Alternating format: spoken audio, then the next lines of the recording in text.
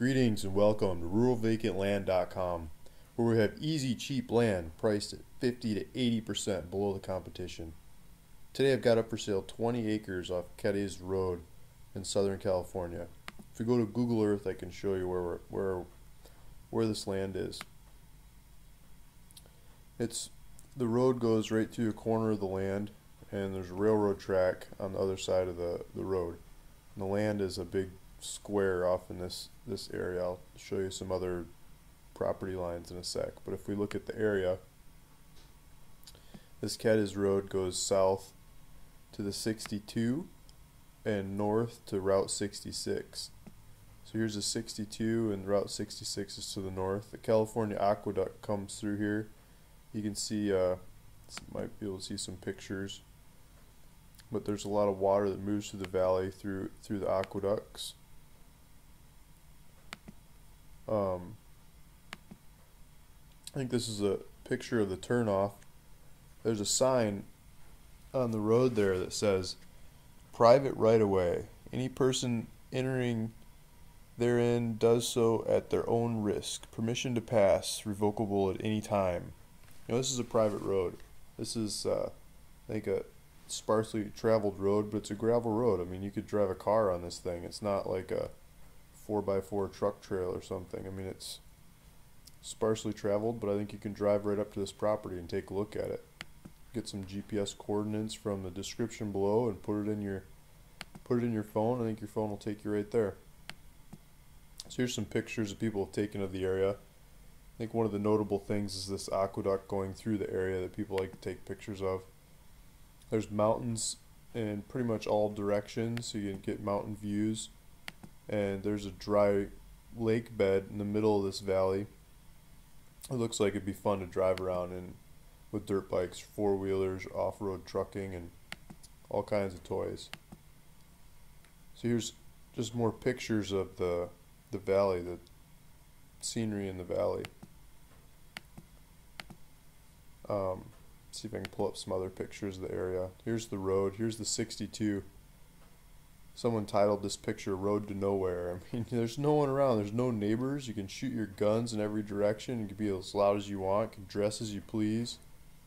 No one's going to tell you otherwise. So this is this is kind of the area. These are some mountains. Horn peak seems to be the taller one in the area. I could take you on a little fly through we can pretend like we're on the peak and looking at the area so there's some other peaks in the area. It'd be fun to go hike these things.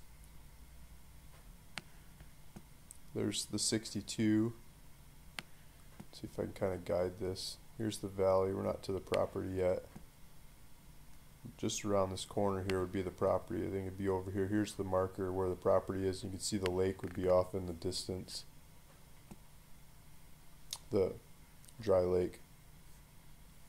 So let's go to the internet and see if I can show you the property lines. So here is Google Maps. Um, if you pull up the coordinates that are in the description of this video in Google Maps, you can see the uh, the property line. So here's Cadiz Road cutting through the property. Here's the rail line cutting the corner of the property. This is 20 acres. It's 20 acre square to find the GPS coordinates of the corners, you can pull it up in this Google Maps and just click on the corners, and it'll show you GPS numbers of of the corners. So when you get a GPS app on your phone and you go look at this property, look at those numbers, and you can figure out where the corners of the property are by looking at the numbers on your phone and comparing the numbers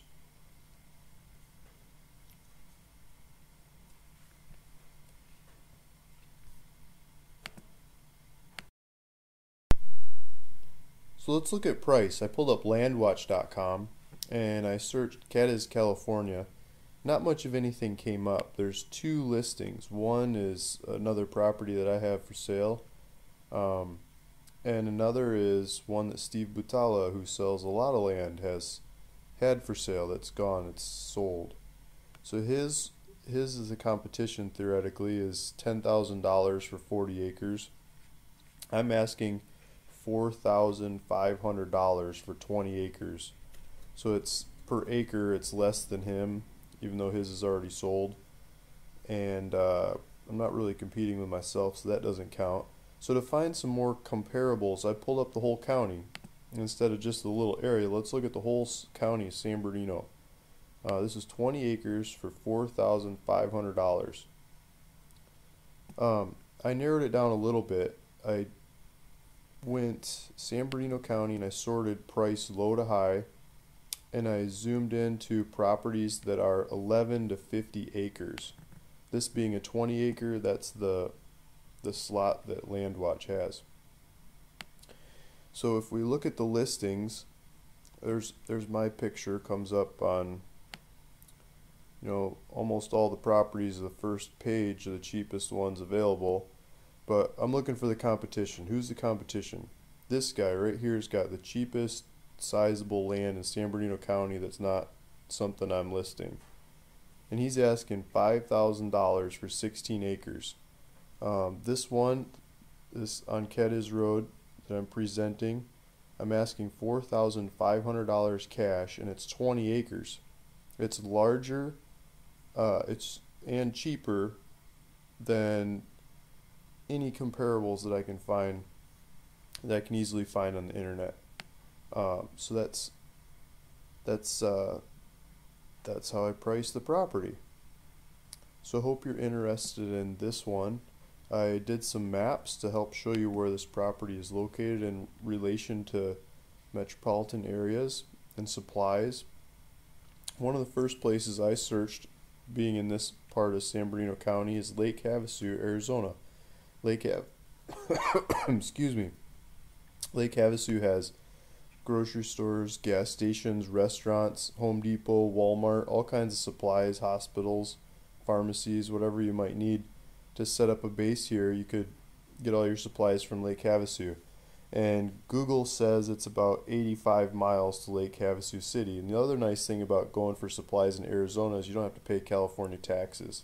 And gas is like two thirds the price, or maybe even half the price uh, that it is in California. So it's nice to go in that direction, just save on some of the costs. And they have uh, beautiful boating and fishing and all kinds of other entertainment on the river.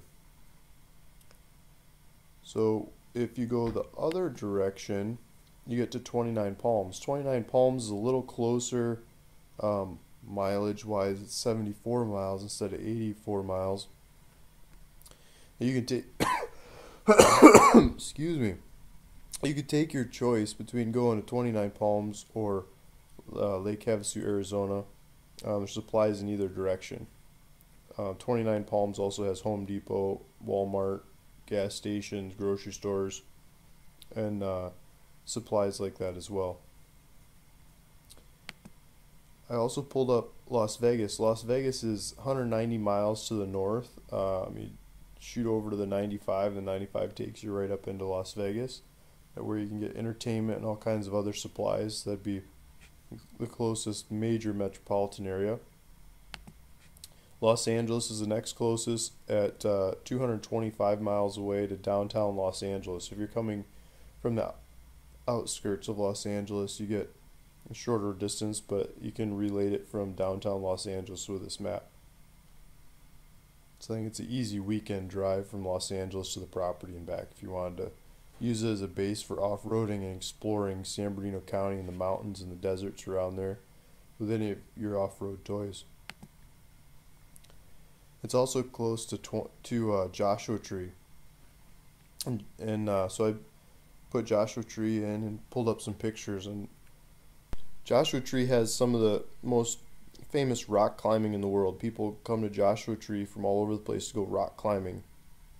People love to camp out and watch the stars because it's so dry and there's so little light that you get a clear unobstructed view of the sky. So you can see the milky way at its finest.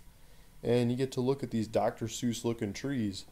There's rock paintings from the ancient people of the area and just all kinds of nature that looks different than most anywhere else in the world so people come from all over to explore this area and that would be in your backyard, just a little bit west of the property.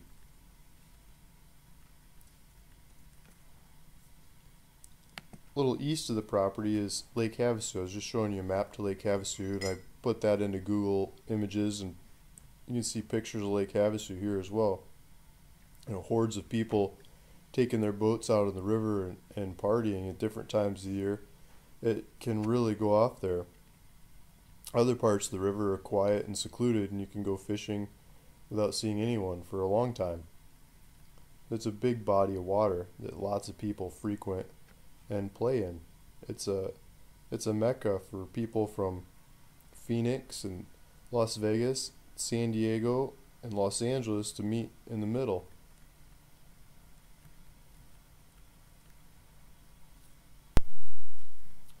I pulled up the uh, tax website for San Bernardino County. Look at the taxes on this property. And the next tax that's due is April 11th, 2016. And it's $19.70. And that's half a year's payment. The other half is due December 15th of 2016. So that's a little less than $20 every half a year. It's not exactly six months, but you know, every half year. And then, uh, which would be less than $40 a year in taxes. I think that that's not much tax for 20 acre property in California. And then I also want to point out on my website, ruralvacantland.com, if you go to the subscribe tab on my website and sign up to subscribe um, to hear about updates and other properties that I have for sale, I'll give you $100 off any of your purchases for the rest of 2016 including this property. So if you're interested in buying this property, go go subscribe first, and I'll reduce the $4,500 price to $4,400 just by subscribing. Then I get the chance to present other properties like this to you over time. Thank you for listening. I hope you're interested, and I'd love to hear a call from you saying you'd like to buy this property. My name is Luke Smith, and my phone number is 760 274 7711. You can also contact me through my website, ruralvacantland.com. There's a contact section there with my name, number, address, and a contact form you could email me through or send me messages. Thank you for listening and watching.